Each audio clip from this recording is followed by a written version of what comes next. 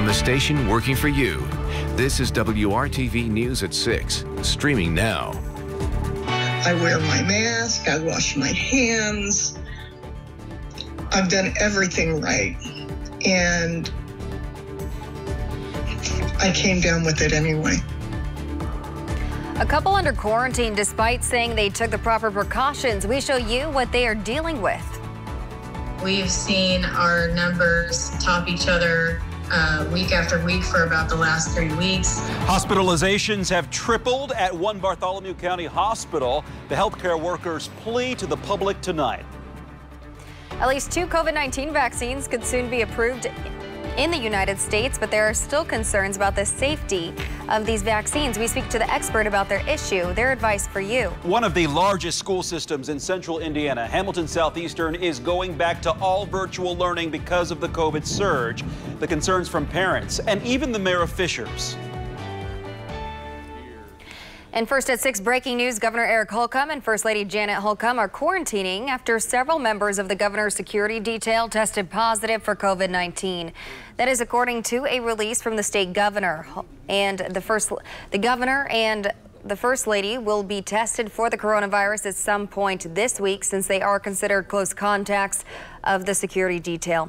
Good evening. I'm Amanda Starrantino. And I'm Mark Mullins. A record number of additional COVID-19 deaths on a single report here in Indiana.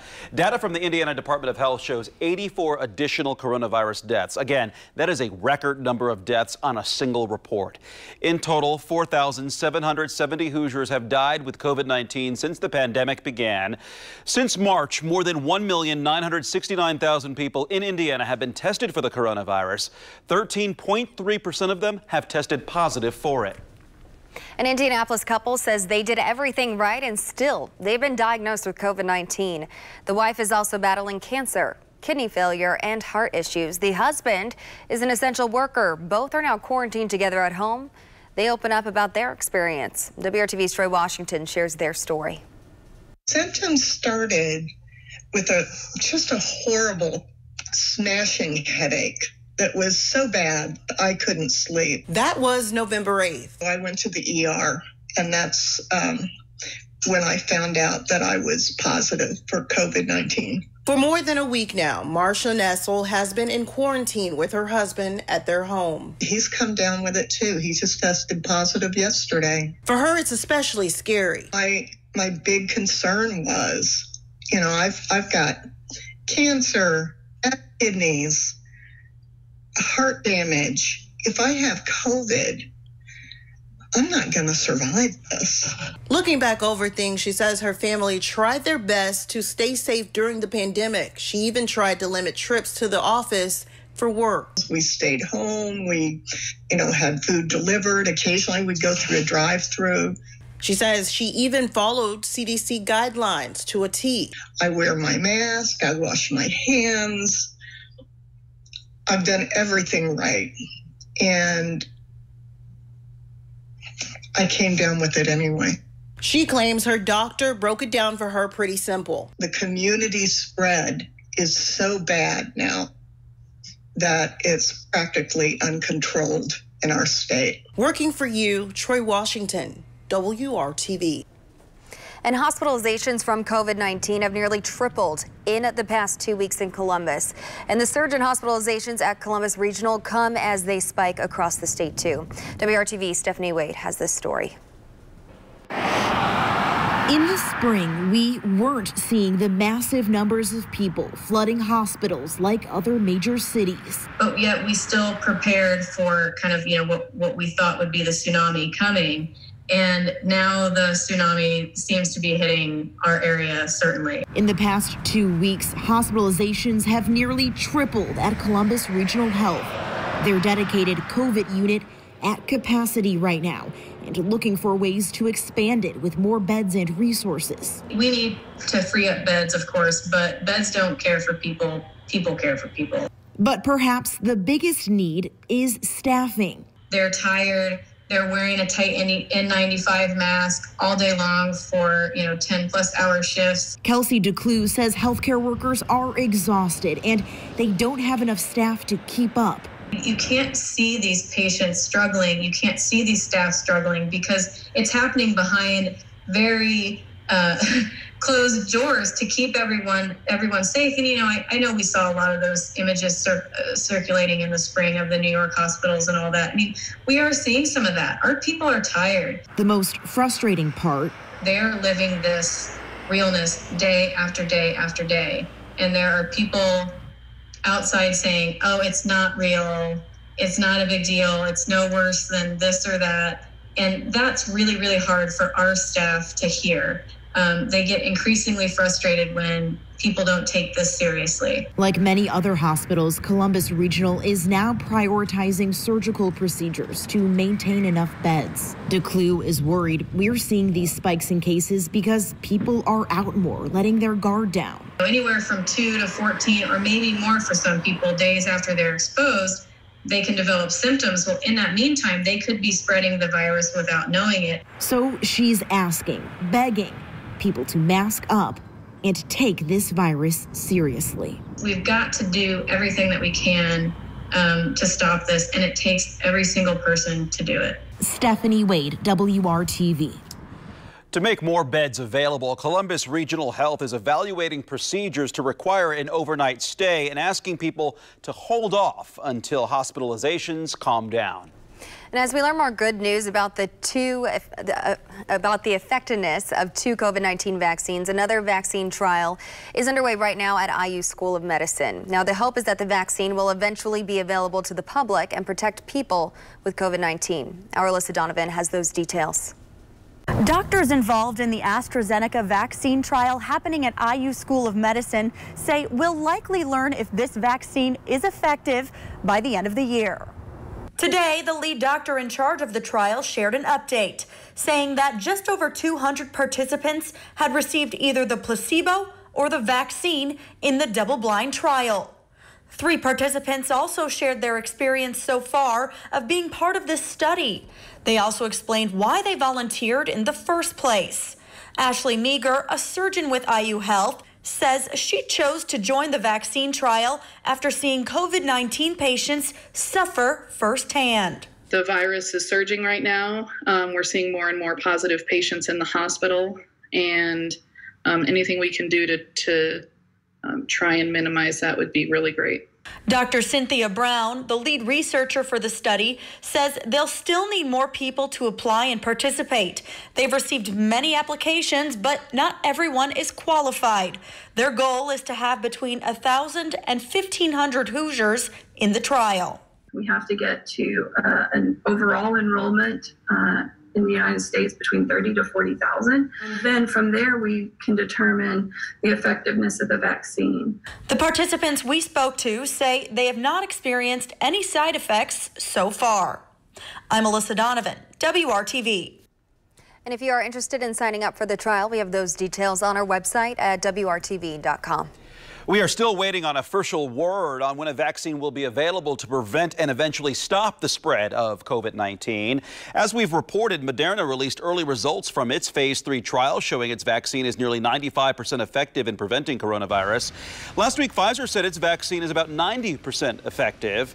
Moderna and Pfizer both say they haven't found any major health concerns stemming from their vaccines. However, both companies still need to get emergency use authorization from the FDA before any doses of those vaccines can be released. Even with these developments, some people are still concerned about the safety of a COVID-19 vaccine, considering it's brand new and was developed quickly compared to other vaccines.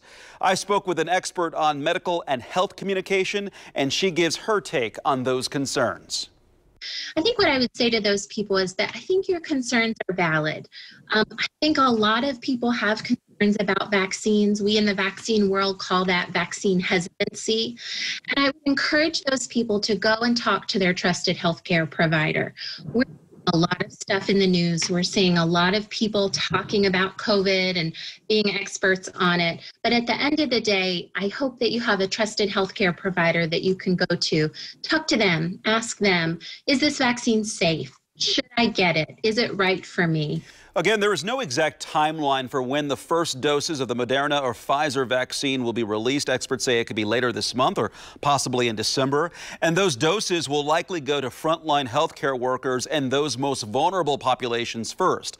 Dr. Anthony Fauci says any vaccine probably won't be available to the general population until sometime this upcoming spring, possibly April, May, or June. It was another sunny day around most of Indiana, including in downtown Indianapolis. This beautiful view is from the WRTV drone.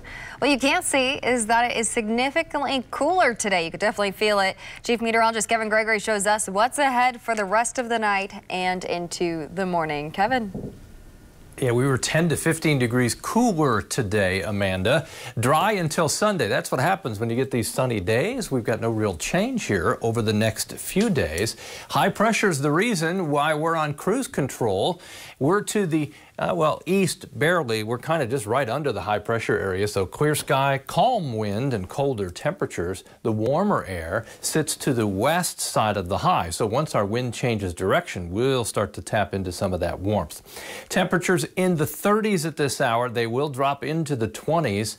The wind is calming down, and this is what you'll wake up to. Temperatures mid 20s, warming to about 44 by noon. We've got a lot to talk about when the strongest winds come back and what changes arrive for the weekend. We'll do that shortly. Well, parents in the Hamilton Southeastern School District are bracing for another change as the school board just announced pre-K through sixth grade students will move to virtual learning later this week. WRTV's Megan Sanctorum has this story. Pre-K through sixth grade students here in the Hamilton Southeastern School District only have one more day of in-person learning until going completely virtual. District leaders say it's because they don't have the staff to keep the schools open. So there's not a lot of time to scramble to figure out things right now. Jessica Wessel is a mother of two and a parent who just learned her kids will be back home for e-learning starting Thursday. My son's in third and my daughter's in kindergarten, so it isn't like you can be away from them while they do it. You have to monitor that. But district leaders say it's a change they had to make. 94 teachers and instructional staff members requested a sub today. Their current fill rate is only about 50%. Principals and counselors are even stepping in to help and they anticipate the need for subs to increase as the week goes on. Anything we can do, we're, we're going to try to provide our resources. In a statement, Fishers Mayor Scott Fadness says he was not aware of the district's decision to move pre K through sixth grade to virtual learning, and he worries about the burden this places on families.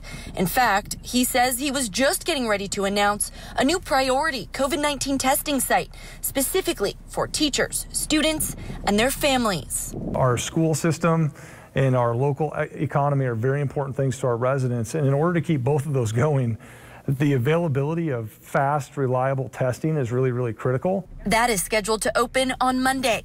Parents hope it helps solve the current staffing issue so kids can get back in the classroom. So we got to figure it out here in Fishers because education is essential and it should be the last thing to close down. Working for you, Megan Sanctorum, WRTV. And grades 7 through 12 are already attending class virtually. The virtual learning for pre-K through 6th graders will begin Thursday and last until December 4th. The district partnered with the YMCA and they will be offering daycare for students from 6.30 a.m. to 6 p.m. Well, the pandemic is causing budget shortfalls for school systems across the state. IPS alone is looking at a multi-million dollar deficit. WRTV's Rafael Sanchez reports on this budget crunch. IPS was among the last school districts in Marion County to return to in person learning. That, the superintendent believes, is the reason why less kindergartners enrolled this year, causing a $15.3 million deficit. The district hopes lawmakers in the January budget session will not punish schools being forced to teach remotely because of a spike in COVID 19 cases. Previously, the governor said schools should get their full funding.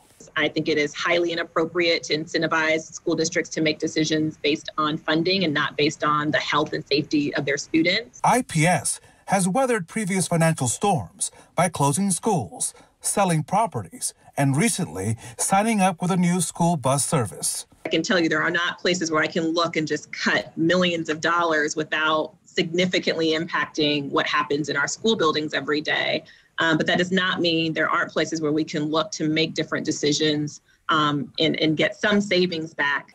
In a tweet last week, the superintendent called out the legislature, asking, I thought we were in this together, critical that face masks would not be required among lawmakers. And I just think that is not setting um, a strong example. If we're going to be in this together, then I think it's important for us as leaders, myself included, to model what we expect those around us to do. Um, and wearing a mask seems to be the the least of uh, courtesies that we can extend to one another to keep us safe and healthy. Due to the high COVID numbers in Marion County, her 31,171 students will be back learning from home starting Monday. Working for you in Indianapolis, Rafael Sanchez, WRTV. In new developments, Ball State University is taking an additional step to try to prevent a surge in COVID-19 cases on campus. Ahead of the spring semester, Ball State has announced it will require all students to provide a COVID-19 test result before returning to campus for the spring semester in January. The school says students are required to submit a test result within seven days before arriving on campus. And Ball State is asking students to self-quarantine between the date the test is taken and the date they return to school. Reconstruction on the North Split is about to begin. It's a major construction project. The impact it could have on your drive, plus what's changing. And a change for IU basketball season, what every fan needs to know ahead of the Ho Hoosiers home opener. Rain returns as we get to the weekend. We'll zero in on the timing, help you out there coming up.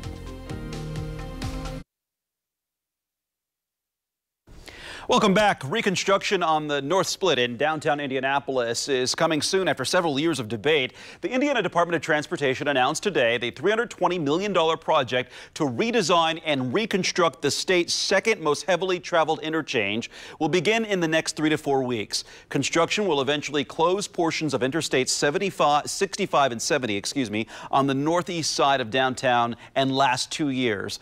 The North Split project will replace or repair 32 bridges bridges over more than three miles of highway, reconfigure traffic patterns, and condense the size of the interchange, according to an INDOT environmental assessment. In early December, construction will begin with the closure of the Michigan Street exit ramp from the 6570 Collector Distributor Road. INDOT expects the ramp to be closed for a year. An INDOT spokesperson also said the first phase of work will focus on entrance and exit ramps. The work on the actual interstate and bigger closures won't start until the spring of 2021. The entire project is scheduled to be completed by the end of 2022. As a Hoosier, I'm sure you're aware, we've had tornadoes every month of the year. And on this date, seven years ago, we had the second largest tornado outbreak in Indiana history with 30 tornadoes in a single day. Typically, we think of the springtime, but I just want to point out if you look at the top 10 tornado outbreaks, three of them are in the month of November. You go back to 1992, we had 15 tornadoes in one outbreak, and then in 2010, 13 tornadoes. Well, no rain, no storms. As we go through the rest of the work week, we'll have some rain. It looks like Sunday into Sunday night along a cold front. Temperatures are mild starting Thursday, lasting through Sunday. The rain that we have on Sunday will mark the transition to cooler temperatures, should be fairly widespread. Snow with that will be up in lower Michigan, but rain through the Hoosier State all the way to the southwest, followed by the cooler temperatures. Looks like it could be a soaking rain once again. Now, the forecast model I'll show you here is a little more on the aggressive side, but has anywhere from three quarters of an inch to over an inch in spots by the time we get to the morning hours on Monday. This is just through 11 o'clock on Sunday night. Skies are clear right now and temperatures are falling down to 34 in Greenfield and Richmond. Temperatures 44 in Sullivan. The air's dry, the wind is calming down. That will allow the coldest temperatures to settle at ground level. Should be mid 20s in the morning. Couple spots might be a little colder than that. Here we go again. Sunshine will carry us back into the upper 40s to lower 50s. The wind again strong, but out of the south this time, gusting over 20 miles per hour. Temperatures are coolest north and northeast of Indianapolis. We'll all feel the strongest winds Thursday. There come the wind gusts again, reaching 40 miles per hour, potentially a little stronger at times Thursday, as temperatures are drawn back into the 60s. Friday, Saturday, still in the 60s. The chance for rain Saturday, just 20%. The best chance on Sunday, which I talked about. Cooler, Monday at 50 degrees. We'll be at 46 for the high. Next Tuesday, so temperatures up and down, what you expect for this time of the year. Up the next few days and then down for the weekend, late weekend. and a dance move to boot. All right, thanks, Kevin. Tonight we are learning that, at least for now, there will be no fans allowed at IU men's and women's basketball games. In a release, Indiana University says this decision is in response to the ongoing pandemic and mirrors the strategy the Big Ten is using for its football games this fall. The school says it will work with local and state health officials to determine if and when fans can return to watch games live. A variety of jobs are now opening up. We are showing you some of them in the Hiring Hoosiers job feed. Carvana is hiring nearly 100 people in the Indianapolis area. The company needs automotive technicians and auto body and paint professionals for the Carvana Inspection Center in Greenfield. The company continues its hiring event to fill these positions Wednesday and Thursday. And it's happening at the Carvana Inspection Center. Again, that's in Greenfield. To learn more and register, go to carvana.com slash careers. Hiring Hoosiers partner Spherion needs two HR generalists for a client in Indianapolis. Pay is around $20 an hour. And learn more about these open positions by going to the Hiring Hoosiers Facebook page. And don't forget about the job board at hiringhoosiers.com. There are many other job openings there as well. We'll be right back.